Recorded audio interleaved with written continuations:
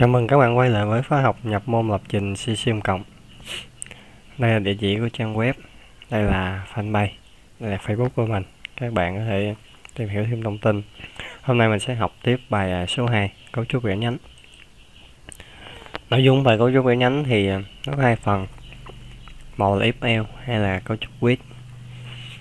If else có à, if else đơn giản hoặc if else đầy đủ with thì có with đơn giản with đầy đủ thì mình sẽ tìm hiểu ờ, dạng đơn giản if đơn giản. Đây là cú pháp của cấu trúc vẽ nhánh if thiếu. Đây là if à, biểu thức điều kiện. Mở ngoặc khối là e đóng ngoặc lại. Cái cấu trúc vẽ nhánh này làm việc như thế nào? Khi mà bạn ờ, thực hiện cái ờ, biểu thức điều kiện này được kiểm tra nếu như các điều kiện này đúng, thì khối lệnh A sẽ được thực hiện. Trong trường hợp chỉ có một lệnh, thì bạn hãy ghi trực tiếp bên dưới. Nếu mà có nhiều lệnh, thì bắt buộc phải bỏ vào trong một cái dấu ngoặc này. Và tốt nhất lúc nào cũng nên để dấu ngoặc. Nếu các điều kiện này sai, thì sẽ bỏ qua cái khối lệnh A và làm lệnh kế tiếp. Đây là lưu đồ đầu tiên sẽ kiểm tra biểu thức điều kiện nếu biểu thức điều kiện này đúng, sẽ làm khối lệnh A. Rồi làm lệnh kế tiếp. Nếu biểu thức này sai thì nó sẽ bỏ qua cái khối lệnh A. Nó bỏ khối lệnh A và nó lập tức nó làm luôn khối lệnh kế tiếp. Đây là một ví dụ cho hai số ờ, A và B tìm min max.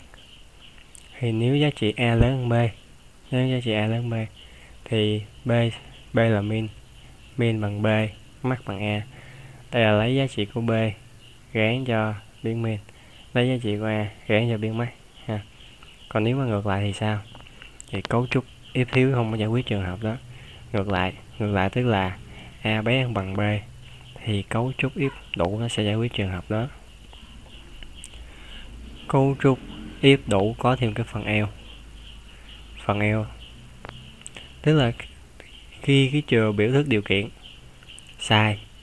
Thì nó sẽ bỏ qua khối lệnh E nó không làm. Và nó sẽ làm khối lệnh B. Tức là giữa khối lệnh E và khối lệnh B phải có một thằng được thực hiện. Đây, do biểu thức điều kiện hai thằng không không có khối E và khối lệnh khối lệnh E và khối lệnh B không thực hiện cùng lúc. Rồi sau đó làm các lệnh kế tiếp. Google thực toán.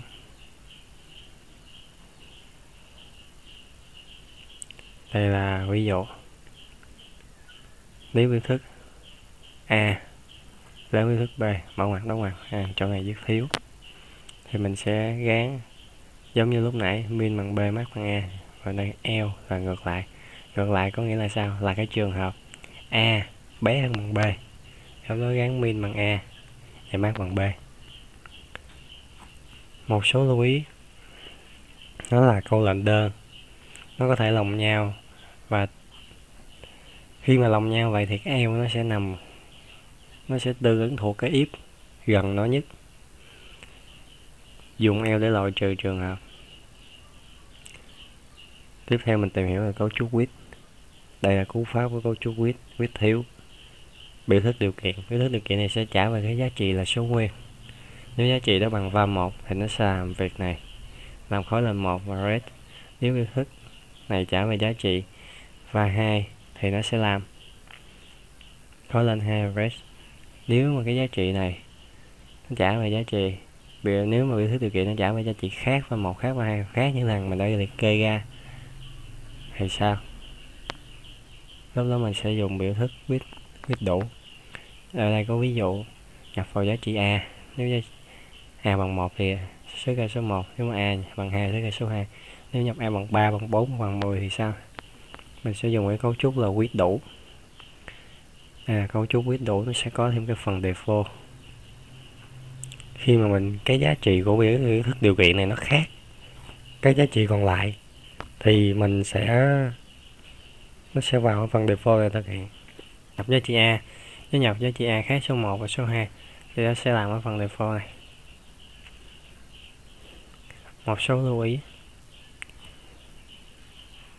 biết là câu lệnh đơn có thể lồng nhau, các giá trị phải khác nhau Read sẽ nhảy đến cái khay tương ứng và thực hiện cho đến khi gặp cái lệnh read hoặc đến cuối read.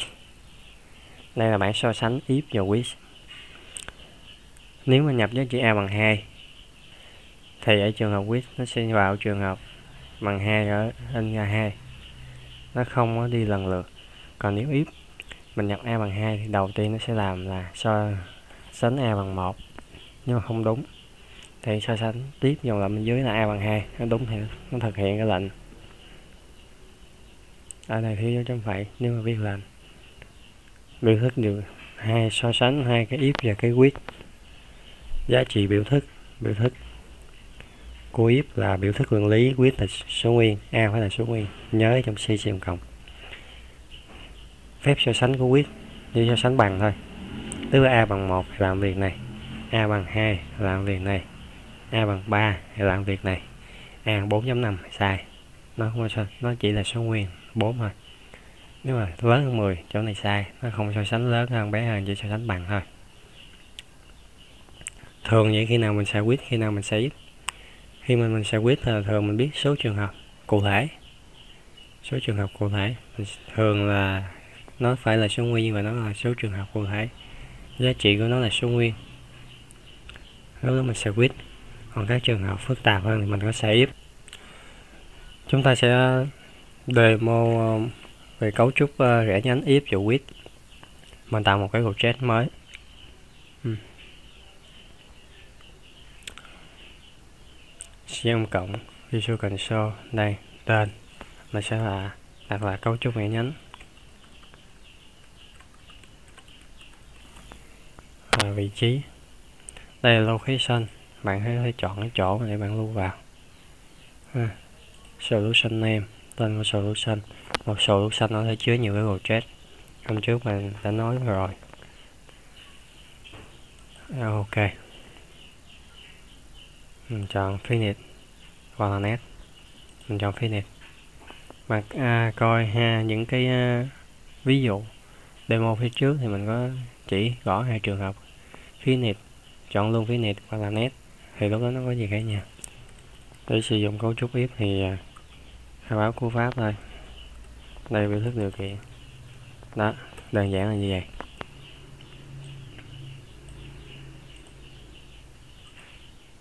Biểu thức điều kiện. Ví dụ, mình sẽ làm cái bài lúc nãy là nhập vào hai số AB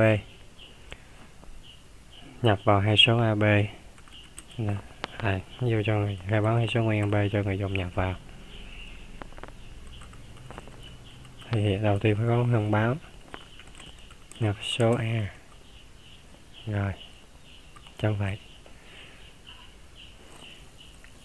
Để nhập số E dùng là sao thì phải inbox thư viện. Iogym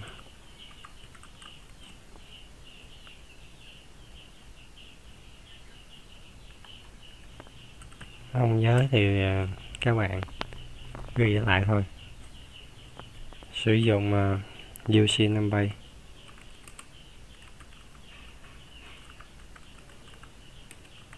chấm phẩy ok nhập a xong. Nhập. À, khi mà dùng cái câu lệnh CA thì nó nhập số a thì người dùng sẽ nhập một cái giá trị. Mình ghi cụ thể đây nhập số quy nghe đây khi nhập giá trị và nhấn enter thì giá trị đó sẽ được lưu vào trong cái biến e thông qua cái lệnh này rồi. Nhập số b. Nhập số nguyên b.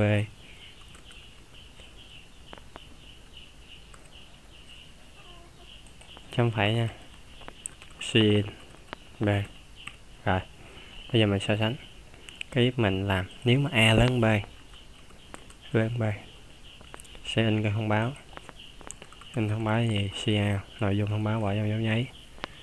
Số lớn nhất là à, nếu a lớn b thì giá thì số lớn nhất là a. Thì anh giá trị a ra. Rồi. Như vậy là xong. Dừng màn hình là dùng ghét hàm ghét này nó nằm ở trong cái thư viện. Tìm thư viện vô chỉ có vài thư vị thôi, mình làm gì mình quen thôi à.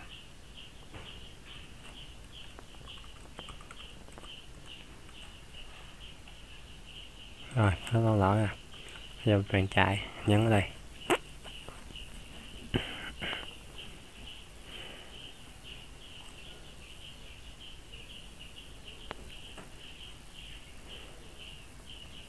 Đợi một xíu nha.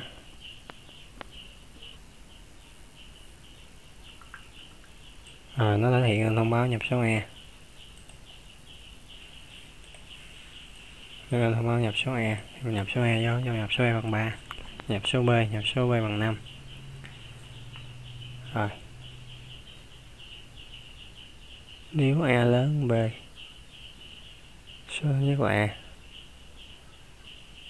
Không, nó không hiện thông báo gì hết. Tại vì tại sao? Đây biểu thức A lớn B, A nhập là 3 B 5 A lớn B là sai. Sai thì nó kiểm tra xong rồi kiện if nó không làm lệnh này. Nó làm cái lệnh cái tiếp bên dưới. Còn dưới không có gì hết. Cho nên không, các bạn không thấy lên gì hết. Bây giờ nhập, đổi là nhập số 5 với số 3 trả lại. Mình sẽ nhập số A là số 5 B là 3 rồi lúc này nó sẽ in ra số nhất là số 5 ừ, đây là cấu trúc tiếp thiếu rồi, ok thì nếu cái trường hợp mà ngược lại thì sao? Ngược lại thì nó không có cho nên nó chưa có cho nên mình phải, phải viết thêm vào. Mình dùng eo trường hợp ngược lại ngược lại tức là cái số lớn nhất. Trường đầu tiên là a lớn b thì số lớn nhất là e là đúng rồi. Ngược lại thì số lớn nhất nó phải là số b. Rồi mình sẽ trả lại. Giờ mình chạy theo trường hợp ban đầu e bằng 3 b bằng 5 thì này sẽ sinh ra sinh ra số lớn nhất là 5 đúng không? Ok. Rồi, nhập giá trị khác.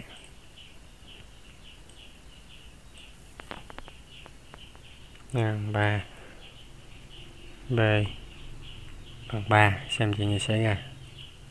Số lớn nhất là 3 hai số này bằng nhau. Thì làm sao biết số 3 là A hay là số B? Rồi điều kiện đầu tiên if A lớn B. A lớn B tức là giá trị A lớn giá trị B mà A nhập là 3 B nhập là 3 3 lớn 3 là sai nên không làm này. L là trường hợp ngược lại ngược lại của cái trường hợp.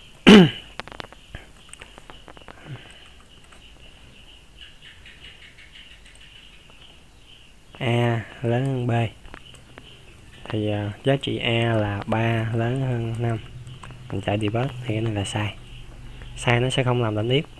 L là sao? L của trường hợp A lớn hơn B là A bé hơn bằng B. Cho nên cái giá trị là 3 bé hơn bằng 3 cho nên nó đúng. Tức là cái giá trị mình, số 3 nên ra ở đây. Nó lấy giá trị của B nên ra. Rồi. Các bạn lưu ý chỗ này nha. Tiếp theo mình sẽ ok.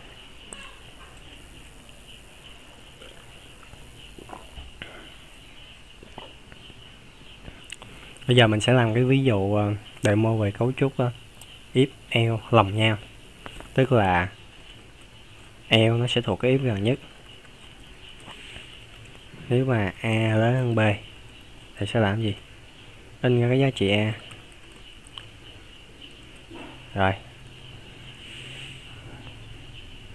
Bây giờ mình kiểm tra xem cái số lớn, cái lớn nhất trong hai số là số chẵn hay số lẻ. Vậy thôi vậy mình sẽ kiểm tra lúc này. Mình sẽ kiểm tra A. Nếu A lớn B thì, nếu A lớn B là đúng, thì nó sẽ vào bên trong ít nữa làm và tiếp tục. Mình kiểm tra lần nữa xem A là số chẵn à. Nó là số chẵn khi nào? Nó là số chẵn khi nó chia hai dư không? Đây là phép chia số nguyên lấy phần dư. E mốt hai bằng không, hay không? Thì mình sẽ làm in a là số chẵn thì mình gọi là số lớn nhất là số chẵn à gần ra a.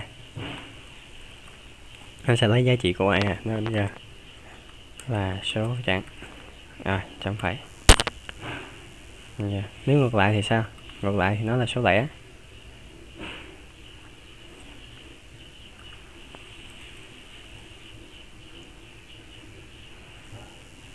Một dòng lệnh thì sao? Một dòng lệnh các bạn có thể không cần dùng dấu ngoặc, nhưng mà tốt nhất ghi dấu ngoặc để tạo một cái thói quen. Lúc này e nó sẽ là số lẻ. Rồi, ok. Rồi, ngược lại. Ngược lại thì cái số lớn hơn là sẽ là số b.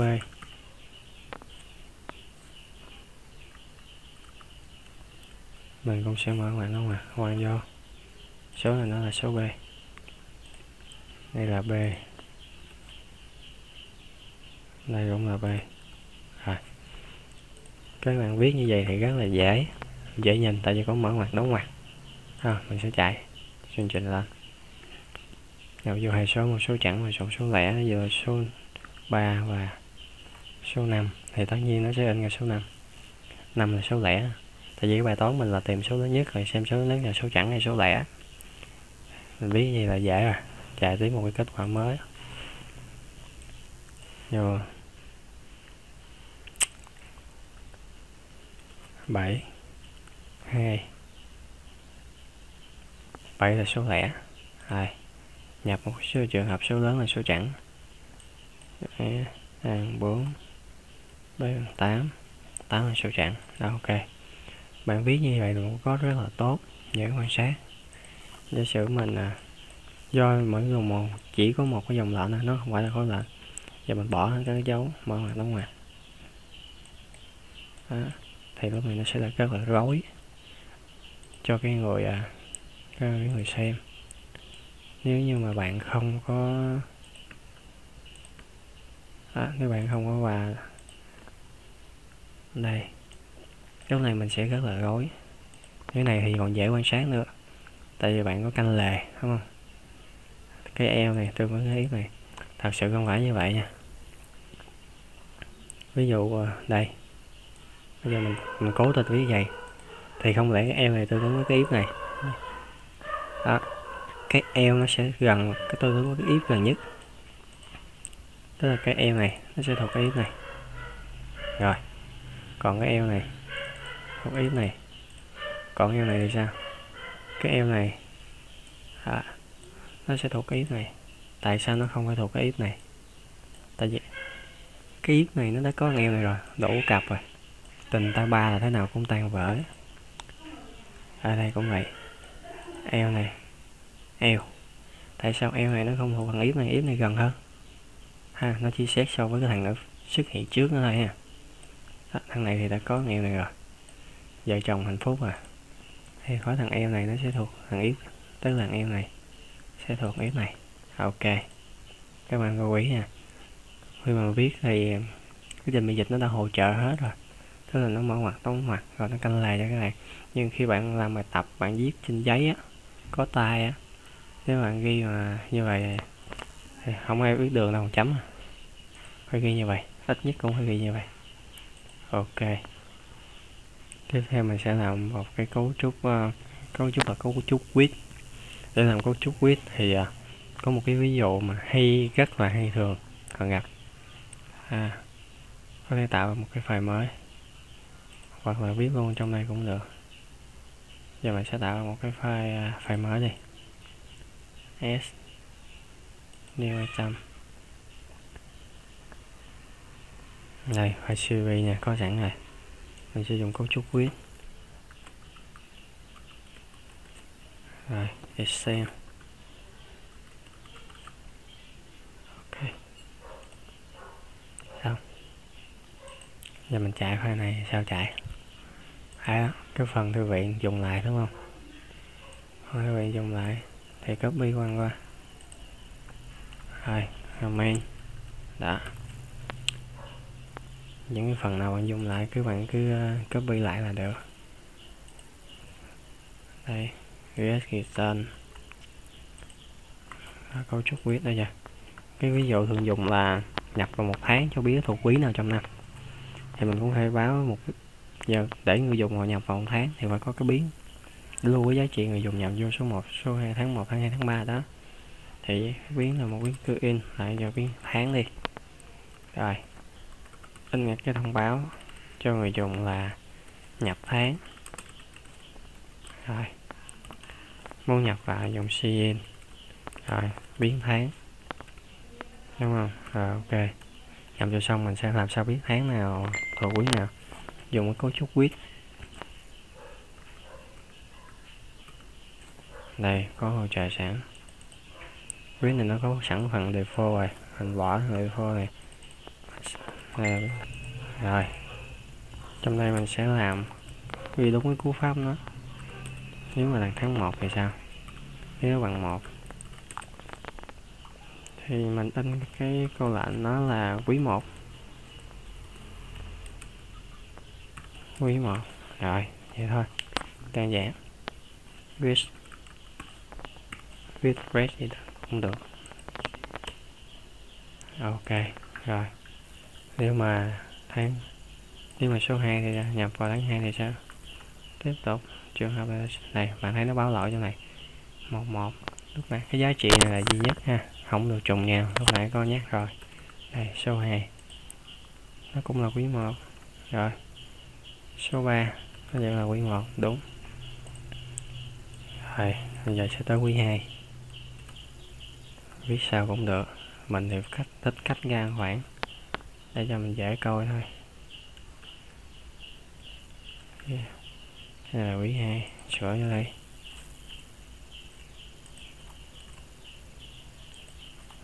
Rồi. Tiếp quý 3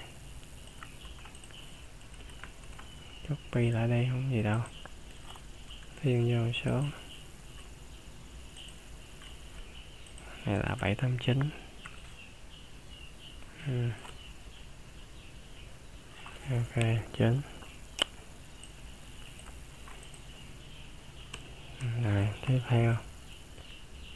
10 11 12 à, cái này là quý 4 đó. Bạn xóa viết lại hết cũng được bạn sửa cũng được. Sao cũng được. Chạy ra đúng ý là, là được. Ok giờ mình chạy. Có báo lỗi nè. Kiểm tra bị gì? Có báo lỗi hàm main á cái hàm này mình nói một lần rồi mà hàm main này là cái hàm rất là đặc biệt. Trong một hộp chết chỉ được có một hàm main thôi. Bên cấu trúc quyết mà nó có cái hàm main rồi. Mà qua bên, à, bên cấu trúc vẽ nhánh có hàm main nè qua cấu trúc quyết có cái hàm main nó không được. Thì sao? À, chuyển toàn bộ phần này thành phần ghi chú hết đi. À, phần ghi chú thì đơn giản đó, đó. quét khối hết. Xong chọn đây sau ok.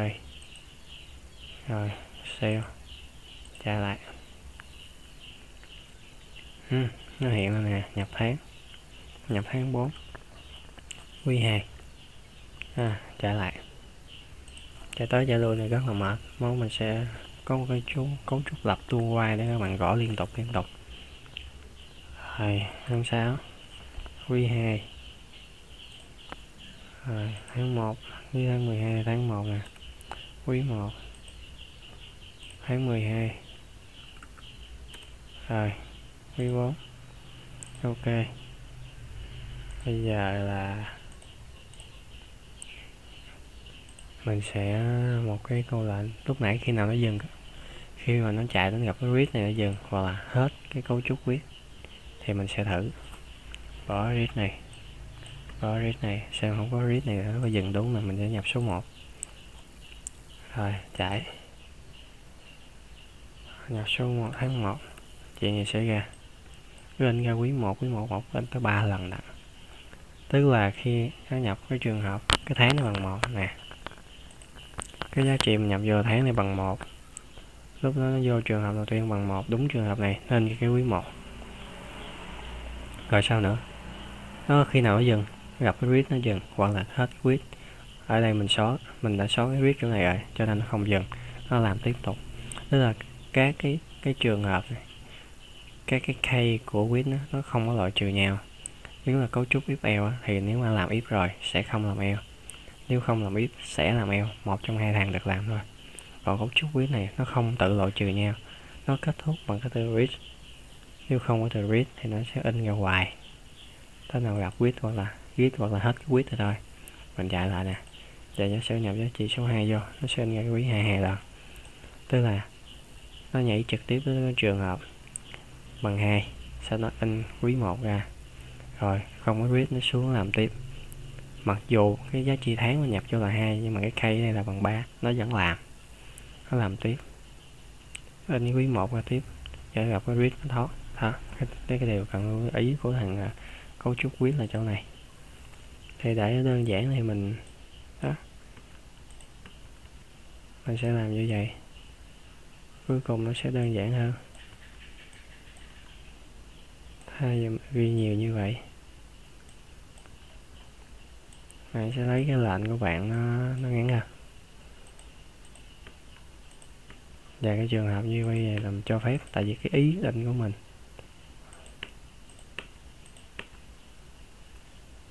ok.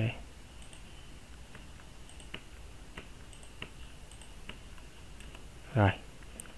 Thấy nó ngắn hơn nãy để nhìn mệt nhức mắt. Chạy lại nếu mà ta nhập tháng 1 thì sao?